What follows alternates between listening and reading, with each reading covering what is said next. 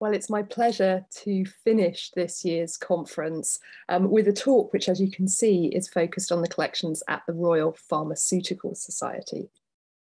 As many of you know, I arrived at the Royal Pharmaceutical Society to this building in September 2002 as its keeper of museum collections.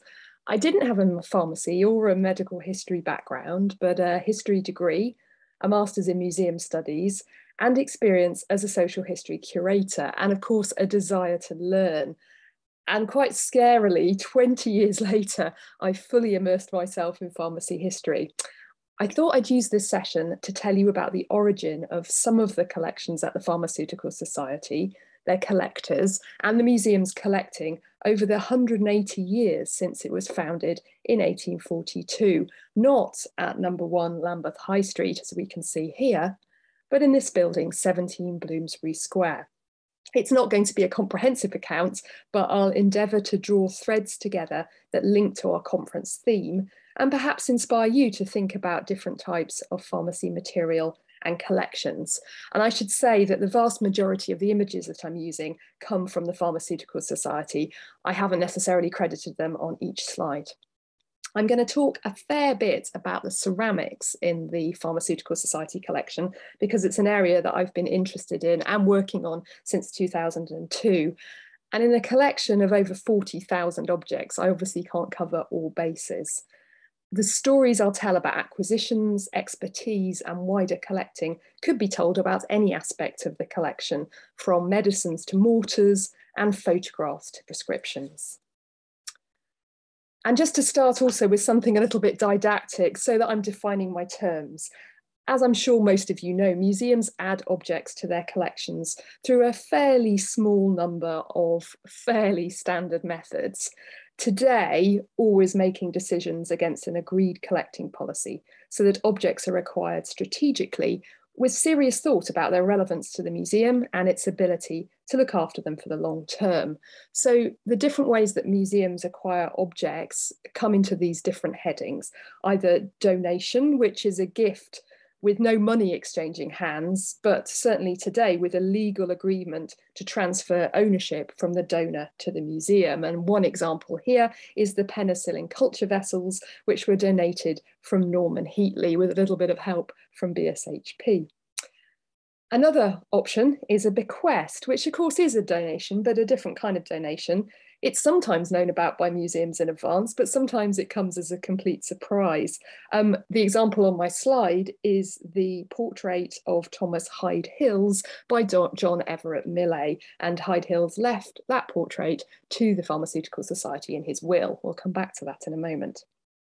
Another way is purchase. So that's obviously objects that have been bought. There's an exchange of money, um, either bought from private individuals or at auction. Um, and it's very rare for museums today because the majority have either no or a very small acquisition budgets. And therefore, if you want to buy something, you have to look for a grant. But in the example I've given here of this display drug jar, um, it was bought by the Pharmaceutical Society. And again, we'll come back to that a little bit later. And finally, in terms of our sort of standard ways of things arriving in museums, we have loans. Today, they're always for short periods and for specific purposes. So, might be for a temporary exhibition, for example. Um, in the past, um, the oxymoron permanent loan um, was the bane of a curator's life, but I think those days are over. And the other thing that I wanted to do up front is um, reflect that, as in the example of the Pharmaceutical Society, there are always museum holdings that fall outside those usual acquisition methods, particularly ones that don't start out as historical items or even as items intended to form part of a museum collection. So, so for the Pharmaceutical Society, as with many other learned or membership bodies, um, it's often centred around ceremonial silverware, around fixtures and fittings, and around portraits of the great and good. So here we can see the council chamber at 17 Bloomsbury Square in 1892, and you can see that the portraits are there on the walls. They weren't acquired to be part of a museum's holdings, they were gradually accrued primarily as representations of past presidents and key figures. The most significant portraits still in the Pharmaceutical Society's collection and now very much part of the museum um, are shown here. So we've got Jacob Bell, painted by Sir Edwin Landseer on the left, and we've got the portrait I showed you a minute ago of Thomas Hyde Hills by John Everett Millais on the right. And when I arrived, I was certainly surprised to see such big names in a very small portrait collection and a collection that predominantly features works by much lesser known artists. What's also interesting, um, if you're into art history, is that both um, portraits are quite impressionistic of their treatment of their sitters. Well, that, of course, is Millais's style, but the unfinished nature of the Landseer portrait of Jacob Bell is perhaps a bit more intriguing. It was described in a review of the portrait in the 1870s as good, but it has an unfinished look and seems to want going over once more to make a really fine picture. Well, as many of you may know, Bell's portrait has a poignant story attached, set in the last months of his life. As his health declined, he'd suffered from laryngeal phthisis or tuberculosis of the throat for many years, and in 1859 had moved to Tunbridge Wells for his health, although he travelled back to London regularly, for example, for Pharmaceutical Society Council meetings. At one of those meetings, on the 18th of May 1859, the council requested that Jacob Bell sat for a portrait, and they said that it was in testimony of the Society's appreciation of Mr. Bell's meritorious exertions on its behalf. Well, Bell must have taken this invitation on board and asked his friend, Edwin Landseer. They'd been friends. Uh, Bell had really worked as a Landseer's business manager and certainly as a patron and supplier of models to Landseer um, for at least 15 years. So he must have turned to Landseer and asked him to carry out this request. From Landseer's perspective, we know he wrote to his friend Billy Wells on the 9th of June, 1859, I wish you could see the sketch of him, meaning Bell, as large as life I did in one hour and a quarter, which obviously goes to explain the rather sketchy nature of it. So it seems that Edwin Landseer travelled to Tunbridge Wells and that the portrait was painted at Summerhill House either on the 8th or the 9th of June 1859. And Bell died in Tunbridge Wells on the 12th of June, so just those few days later, aged only 49. Landseer presented the portrait to Thomas Hyde Hills with the inscription given to his very worthy successor, T.H. Hills, by his friend, the author and then back to Thomas Hyde Hills. So Hills had joined John Bell's pharmacy business as a junior assistant in 1837, became the superintendent pharmacist in 1845, and he lived at Bell's Langham Place home um, for many years. Bell left him a significant proportion of his estate, including the pharmacy business, in his will. And after Bell's death, uh, Hills worked hard to continue Bell's interest in education and the art world and kept up his contacts. In Hill's obituary in 1891, um, it remarked nearly all of Bell's art friendships were continued by his successor, who had already become closely connected with Landseer, to whom he acted as a business advisor and finally executor, with Millais, who painted a wonderful slapdash full-length portrait of his friend with, I believe, only one sitting. And to come back to our means of acquisition, in his will, Thomas Hyde Hills bequeathed Landseer's portrait of Jacob Bell and his own by Millais to the Pharmaceutical Society, hence them now being part of the museum collection. So that very short anecdote, looking at just two of the paintings, um, already raises some themes for us of networks, of the interplay between private and museum collections, and of friendships. And we'll see more of all of those as we turn to other um, parts of the collection. The vast majority of the Pharmaceutical Society's collection was acquired intentionally, and the title of my lecture, An Heirloom to be Handed Down, comes from a piece in the Pharmaceutical Journal written in 1842 by Jacob Bell. Bell was its first editor, as well as the man, of course, around whom the Pharmaceutical Society coalesced in 1841. And here's the fuller quotation. So we can see Bell wrote, the knowledge we possess exists only in the mind and can only be perceived by its results. But our biblical and pharmaceutical storehouse, which is typical of that knowledge, will be a monument which, while it will afford endless means of instruction, may be considered an heirloom to be handed down to our successors we can see here that he's describing this ambition to bring together a museum collection with the terms biblical and pharmaceutical storehouse, a monument, an heirloom to be handed down. So this sense of legacy. but the purpose is to afford endless means of instruction. So it's intended to be an educational collection. The Museum of the Royal Pharmaceutical Society was therefore founded in 1842, a year after the Society itself, and as a reference collection for students of its newly formed School of Pharmacy. William Allen, the Society's first president, wrote in his first president's address that the purpose of the museum, alongside the library, lectures, and pharmaceutical demonstrations, was to facilitate the acquisition of knowledge by the rising generation. Jacob Bell described the museum soon after it was set up. He wrote, The museum is a front room on the ground floor, 26 feet by 20, containing not a vestige of furniture. The bare boards are well scoured, the ceiling and walls are in a perfect state of repair, but there is not even a chair or table to invite the student to sit down and contemplate what alterations are likely to take place in the apartment within the next six months. On the floor at one corner is a small heap of brown paper parcels containing a few donations from two or three members.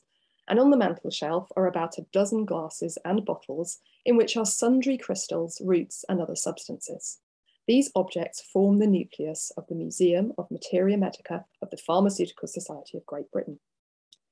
By 1858, the Pharmaceutical Journal reported many of the early supporters of the society vied with each other in presenting the most rare and curious specimens, as well as others varying in quality, to make the collections as complete as possible. In the early days, the museum was primarily used as a source of lecture specimens by the school's professors.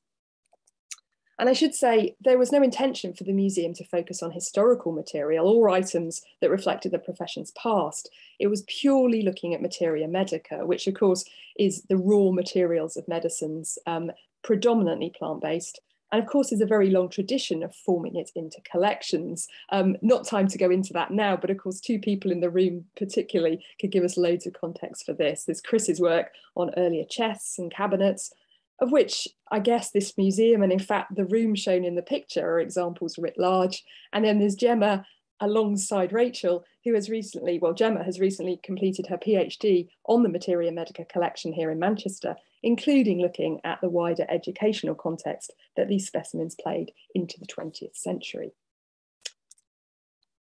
The Society's first curator, Theophilus Redwood, shown here, was also the school's first professor of pharmacy, and this set the trend for men, and it was men in charge of the collection, to be experts in pharmacy, or more accurately, pharmacognosy, not historians. Um, and academic pharmaceutical training made them best qualified to collect, research, and interpret the specimens. By 1863, the museum has expanded to occupy three rooms of the Society's headquarters, and after Redwood's retirement in 1867, the Society agreed to a full-time curator post at an annual salary of £150. Three men filled the role between 1867 and 1872. Firstly, James Collins, who, although enthusiastic, was dismissed after just a few months probably at least partly as a result of an inspection by the Society's Library, Museum and Laboratory Committee that found the museum very dirty. The appointment of Edward Morell Holmes in 1872 was a significant turning point in the museum's history. Holmes, who was born in 1843, died in 1930, uh, was curator for over 50 years until his retirement in 1922 by which time he built up the museum collections to over 20,000 specimens. Obviously, I don't have time to give a full biography today. He had a very long and very successful career. At the Society, he was viewed as one of five of the teaching staff in the early days of the school, responsible for teaching Materia Medica my favourite article that he wrote, clearly fully understanding the students, was guidance on their use of the museum. It was published in 1899, and he pointed out that the prunes, the almonds, the figs, the licorice, and other edible specimens were not put out in open drawers like other material, as they are, he wrote, apt to disappear. Students are evidently too familiar with them to need to examine. And it seems, of course, that they were being eaten. In fact, his early frustrations that lecturers and students were taking specimens out of the museum and losing them or eating them um, led him to set up separate teaching and research collections by 1875. So one collection was used to teach students, but the other was the stimulus for current research work. with Holmes building up an international network and personally writing more than 600 articles. He published a complete catalogue of the collection in 1878 and continued to encourage donations from around the world, from manufacturers, past students, society members, and from international exhibitions. On receiving the first Flückiger Medal in 1897, he said, the Museum of this Society naturally affords exceptional opportunities of investigating new drugs, since London is preeminently the drug market of the world, and opportunities of acquiring and publishing new information are therefore more frequent here. As I said, Holmes had an extremely successful career, and just a few highlights. He was the British Pharmaceutical Conference president in 1900. He served as the botanical referee for the GMC and also for the 1912 British Pharmacopoeia.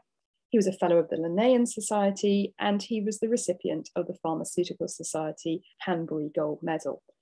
His particular interest, his particular expertise, and the basis of his private collection, which didn't form part of what he looked after at the Pharmaceutical Society, his particular ex expertise was mosses, algae, lichens, and shells.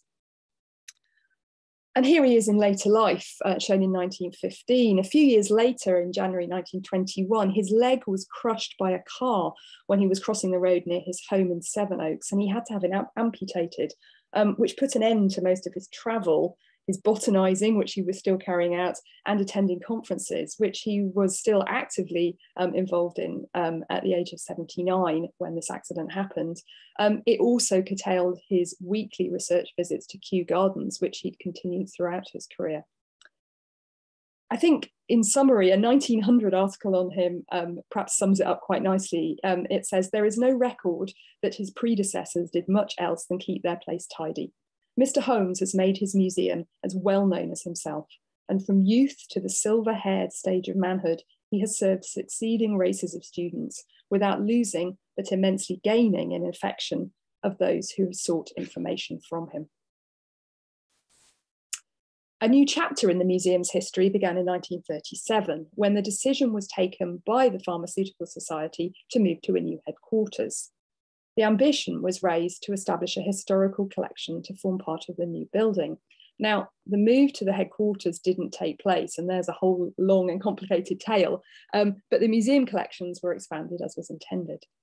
Agnes Lothian, shown here, was the librarian appointed in 1940. She worked at the Society as a member of staff till 1968. And she was put in charge of establishing these historical collections. But as far as we can tell, she didn't arrive at the Society with any enthusiasm or expertise in historical um, antiques or, or objects. She'd qualified as a pharmaceutical chemist in 1926, having studied at Heriot Watt uh, College. She started in retail, then worked as a rep for a baby food manufacturer, and then spent 10 years at Allen and Hanbury. Um, and yes, her her um, interest in in history is uh, lost in the mists of time if she had any before she arrived at the society. But she carried out an ambitious purchasing program, particularly in the areas of ceramics, caricatures, proprietary and brand, brand name medicines, and her particular passions were mortars and delftware jars. She did have to work hard to persuade the society to support these acquisitions financially. And she wrote, it was hard work getting even a small budget approved for purchases. What made it harder was that some members of the Council of the Pharmaceutical Society saw no purchase, purpose rather in such expenditure. And I don't think that necessarily has changed. Agnes Lothian's first publication was Drug Jars and Their Inscriptions in the Chemist and Druggist in June 1950, and she wrote many more articles on tin glazed earthenware. But she confessed that writing for publication wasn't easy for her, and she turned down the opportunity to write catalogues of the Society's jars and its mortars. Um, personally, just to say, it was very pleasing to be able to dedicate the catalogue that I completed of the jars to her many years later, because it was very much built on the foundation she laid.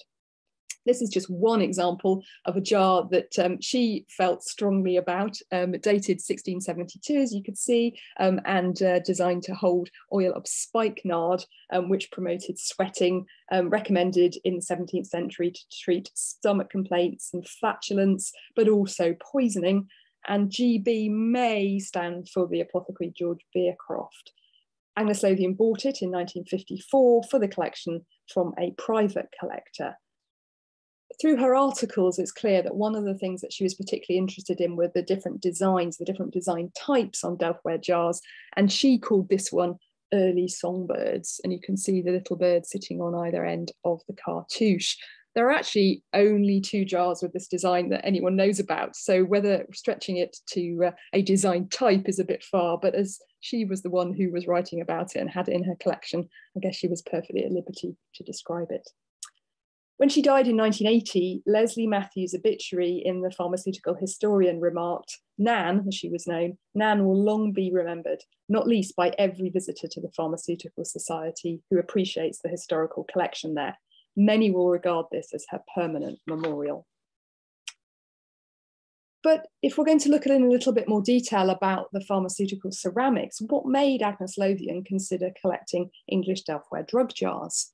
Well, in 1908, Henry Walker wrote in The Connoisseur, the collection of old pharmacy jars does not appear to have received the attention of connoisseurs to any appreciable extent. Yet, by 1951, Geoffrey Howard, a pharmacist from a long line of pharmacists, remarked, drug jars are fast disappearing from the market. They've become a kind of craze. So what happened in between to change collectors' minds? Well, in 1931, Geoffrey Howard, who was a passionate collector of drug jars himself, published a book on his own personal collection called English Delftware Drug Jars.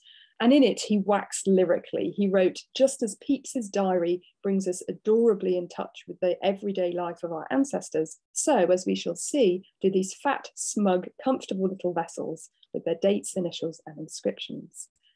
And I think very much that Howard's book and Geoffrey Howard himself seem to act as a catalyst to raise interest in drug jars. Agnes Lothian was encouraged to join the English ceramic circle shortly after her arrival at the Pharmaceutical Society in 1940. And about the same time, maybe through the ECC, she met Geoffrey Howard. It certainly seems to have marked the beginning of her interest in Delft. And one of the things that she did in order to build up her own knowledge was to visit other collections. In 1943, Sir StClair Thomson donated a large collection of jars to the Royal College of Surgeons of England, which Lothian visited.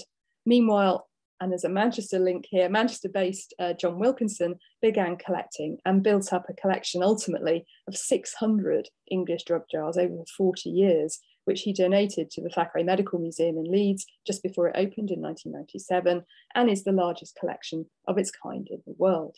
So by the time we get to 1951, there's great interest, high auction prices, and this kind of craze that Howard describes.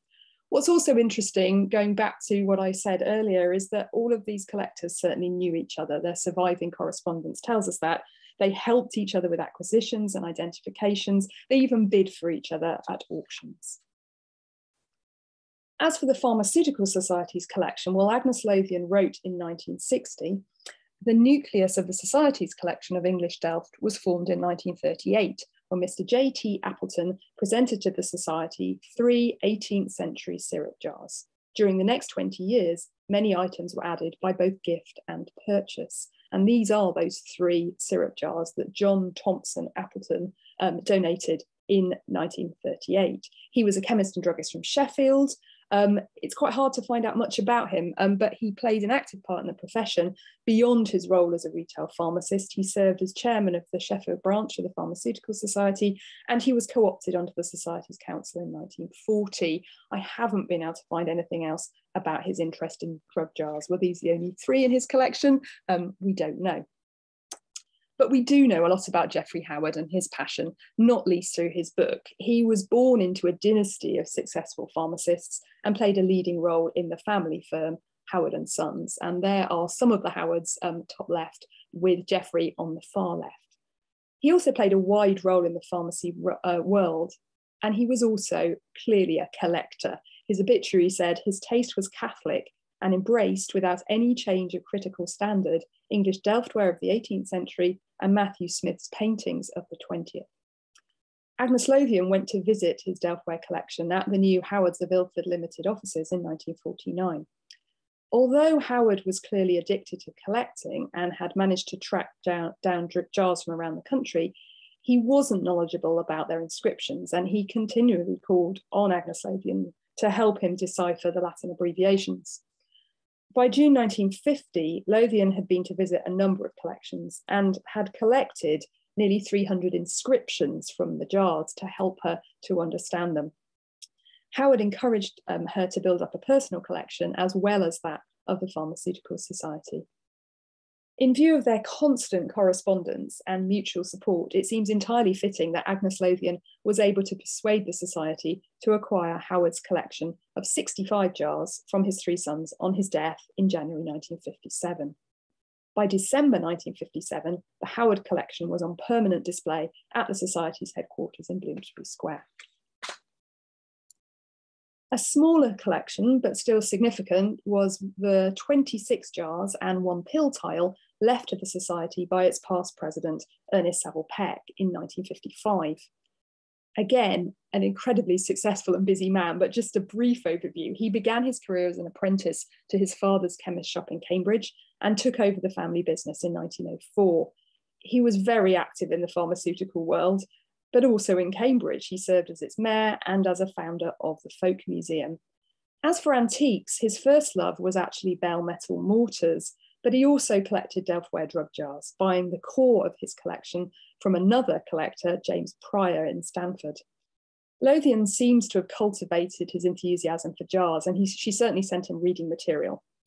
Saville Peck was instrumental in helping Lothian acquire one of the most important jars in the Society's collection, one we've seen a little bit earlier. This large show jar with the coat of arms of the Worshipful Society of Apothecaries on the front and Chinese inspired designs on the reverse is the earliest known English dated Delft drug jar. You can see at the top the date 1647. And it was Peck who put the owner of the jar, who was a Reverend Willimot who lived in Somerset, in contact with Agnes Lothian in the first place in 1953. And she bought it for the Society for a £100. In 2002, the transfer of Peck's drug jar collection to the Society was finally completed when four additional jars, which had originally belonged to Peck, passed to his daughter, were bequeathed by her to the museum. And I travelled with Peter Homan, with Julie Wakefield um, to St Albans to collect them um, from her house. The Society also received a significant collection of Delft jars from this man's widow. So this is John Austin, also of Sheffield, and his widow um, left a collection of jars to the Society. Um, they were actually very well-traveled jars. They've been exhibited at the St. Louis exhibition in 1904, and one of the jars still has an American customs sticker on the base. Uh, Austin was another pharmacist very active in his local community and societies. And finally, as far as collectors go, I just wanted to mention pharmacist, collector, and BSHP member Henry Everett Broxham, who donated a number of early unlabeled Delftware jars from his large collection of pharmacy antiques. Um, this is an image from the chemist and druggist in 1953 of his pharmacy at 70 Chapel Market in Islington. And you can see, and for a curator, it gives you the heebie jeebies, um, you can see that he displayed his antiques in and amongst the products he had on sale in his shop. On his death in 1985, the Society acquired more than 100 items from this collection, not just Delftware jars, but dispensing equipment, bottles, and historical med medicines. However, some of the smaller and earlier examples um, of Delftware in the Society's collection were bought, and they were bought from archaeological digs. Um, so I'm thinking about this kind of thing, um, but also much smaller ointment pots. Um, tantalizingly, the museum's documentation does not reveal much about their origins or provenance. For example, a record card for the purchase of a group of ointment pots in September 1961 simply reads, an important collection of 34 Lambeth, Delft and other early unguent pots recovered from various excavations in London circa 1926. And to fill out and continue the ceramic story, of course, there are many other ceramic items in the Pharmaceutical Society's collection, including this rather spectacular Delftware pill tile dated 1670 with the name Thomas Fautrart, um, it's a unique example of the decorated tin glazed earthenware tiles that were found in apothecary shops. And as many of you will know, there are many examples of ceramics that came into use in the later 18th and 19th centuries. Um, very briefly, what you can see here is a stoneware jar um, on the left-hand side, earthenware jars with coloured glazes that really came in in the 19th century. Um, we've then got a creamware syrup jar, so it mimics the shape of Delftware jars, um, but um, Wedgwood developed creamware from the uh, early 1760s. And on the right hand side, a more rare example, a white earthenware jar. Um, this is one of a small set that was commissioned by Corbyn and Stacey um, in the early 19th century. So drug jars, definitely, but ceramics in much wider form as well. Um, so we've already seen the uh, ceramic uh, penicillin culture vessels, top left. Top right, we've got a very fancy bed pan. Bottom right, um, there's a water filter, um, relevant when I was based at 1 Lambeth High Street because it was made by Lambeth Doulton. And bottom left, um, we've got the Dr. Scholl Zino pads um, advertising model. So of course, ceramics used within pharmacy um, in lots of different ways. And the Pharmaceutical Society's drug jar collection has even inspired contemporary ceramicists. So on the left-hand side, we've got um, some creamware syrup jars, um, in the center, nestled amongst them, is um, a jar that was created by Tamsin Van Essen as part of her medical heirlooms project. And on the right hand side, in a bit more detail, you can see one of those jars. Um, this one was, uh, I think, named Psoriasis. Um, she was um, inspired by the forms of the historic vessels and then experimented with different glazes and finishes so that the jars themselves looked as if they were suffering from hereditary diseases. So that's as much as I got time to say this morning about the ceramics collection, but I hope it gives us some ideas about how these things come together and the different factors at play. I wanted to finish by suggesting that pharmacies themselves could be considered as collections. Does that what is that what makes pharmacists perhaps good collectors and enables all of this stuff um, to uh, be uh, left um, in museum uh, collections? Although both historically and currently, the majority of items stored on the premises in a pharmacy are intended to be dispensed, so passed on to customers, so they're not permanent fixtures, I'd say we could consider that there are many similarities between the sort of stock control side of what happens in a dispensary and what happens in a museum. Considerations of storage, location, labeling, display, and then communication with the general public all have some kind of common ground and I've also always said that community pharmacists in particular make fantastic museum workers, Peter Homan being a prime example. All these transferable skills between the two sectors, creating eye-catching displays, conveying pharmaceutical principles to customers or visitors, and also being very careful, being very methodical um, at inventory, at description, and identifying issues surrounding either stock or collection items. So this is a French image, 18th century, an example of what in the museum world we'd call open storage. It's apothecaries shops style, um, very distinctive to have rows of ceramic jars on extensive runs of shelving. Of course, that's answering a practical need for significant storage, um, whether that is jars, pots, boxes and barrels. If you look at work done by Patrick Wallis, who analysed um, a large number of probate records for this sort of early apothecary period, he found a significant proportion of the value, the financial value of what was held in apothecary shops was represented by fixtures, equipment, things like these jars. Expenditure on decorative jars was without parallel in any other retail trade at the time. And there's something there, isn't there, about the fact it's a public facing display, but also a storage solution. So you're impressing the customer and perhaps competitors with the sheer range of available products, and you're choosing to house them in attractive, fashionable, and expensive jars. And of course, the idea of open display continues. Here's the Society's first president, William Allen, prominent Quaker businessman, pharmacist, philanthropist, and his career started here at Plough Court, just off Lombard Street in the centre of London. Even though, as we know, the business of Allen and Hanbury's um, moved very squarely into manufacture, they kept this pharmacy a shop um, and here's the interior in 1897 as another example of what in a museum world you call open storage. Um, but this isn't Delftware jars by the time we get to the 19th century, but shop round bottles. You can see they're all labelled. Um, they are a means of storing the product. Um, I'm sure they all had controlled locations, um, but they're also a display for the customer. And there's another strand here, I think, that starts in apothecary shops of more permanent displays of material, never intended for sale. Um, this is perhaps the most famous apothecary, William Shakespeare's apothecary from Romeo and Juliet, first performed in 1597, although this is an 18th century engraving. Um, Shakespeare described his apothecary as being in tattered weeds in a needy shop, stocked with a beggarly account of empty boxes, green earthenware pots, bladders and musty seeds, remnants of pack thread, and old cakes of roses. In his words, it's a retailer struggling to make a living, although, of course, that works for his plot. The apothecary's poor circumstances um, are linked to his willingness to supply poison to the doomed lovers. Well, this engraving um, takes it further. Um, as I say, dating from the mid 18th century, shows an apothecary sorting medicinal herbs in a basket there's a jar of leeches ready for use on the windowsill, and we've got medicines in jars and drawers behind the counter. But the other thing I wanted to point out was the various creatures hanging from the ceiling. Shakespeare tells us about them. He says that there is a tortoise hung, an alligator stuffed, and other skins of ill shaped fishes.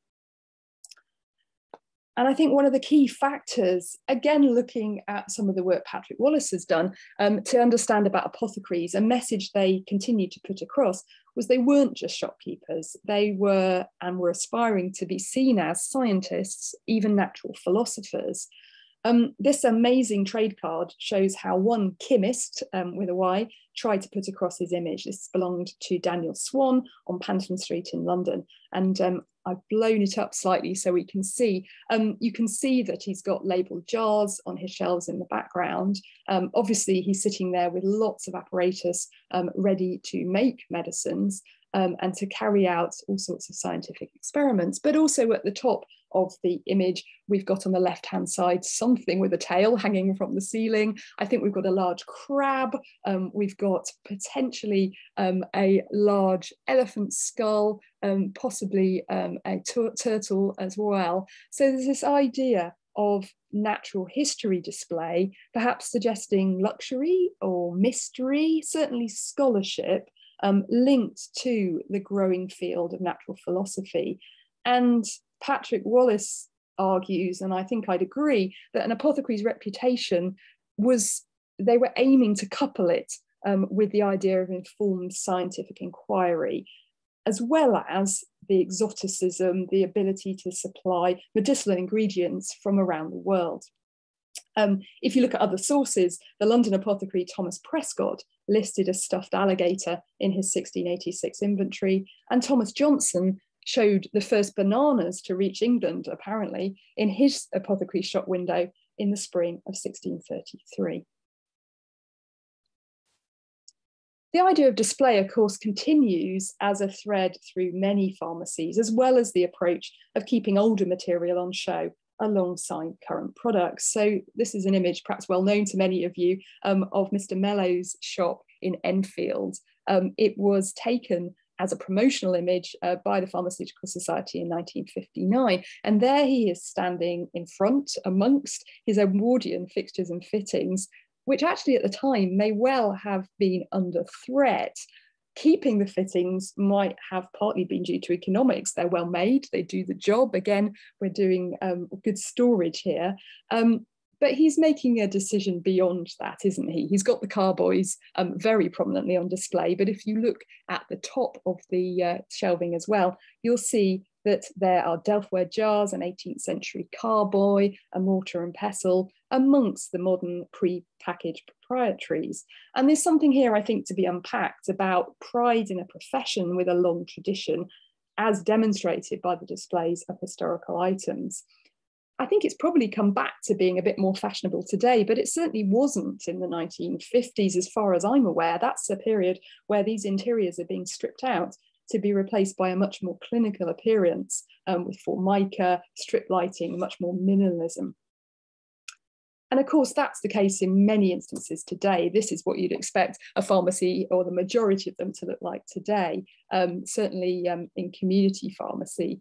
Um, but I'd argue that community pharmacy, but also the wider profession, do hark back to the um, historical objects, um, even if it is in more symbolic form.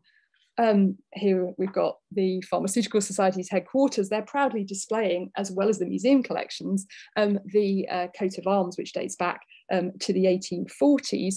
And of course, on that arms are various objects that reflect the heritage, the longevity of the activity of making and selling medicine. So we've got the mortar and pestle at the top, um, we've got aloes, we've got an alembic. Um, even if as is the case with the Pharmaceutical Society, their relationship with the history of the profession, their support for heritage activities is perhaps complex. They're very much embracing um, the historical symbolism um, as part of their brand. And that's true also for community pharmacies, even if they don't necessarily have a carboy on display, although many of them do, they choose, and here's an example um, from Leytonstone, they choose um, to embrace the symbolism that reflects um, these collections. So we've got carboys, we've got a mortar and pestle on the left, we've got the cup of Hygeia on the right, alongside the much later 1984 um, green cross. So definitely referencing history and definitely referencing collections, even if it is only with signs and symbols.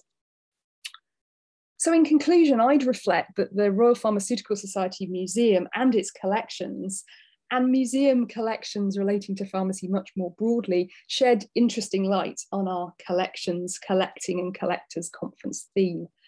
Tracing the purpose and composition of museum collections over time tells us about the curator's personal preoccupations, the context within which they and the parent body are operating, as well as, in pharmacy's case, the profession that they're collecting to represent.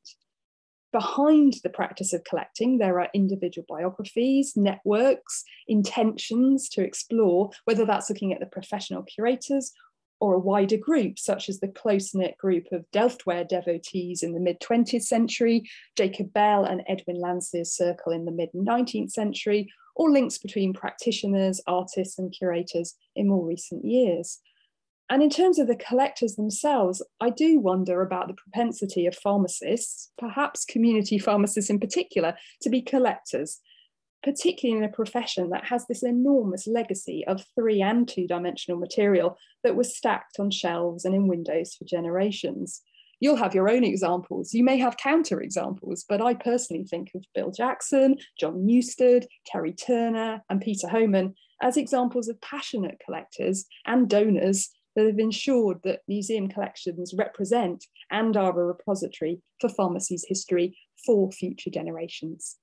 Thank you very much.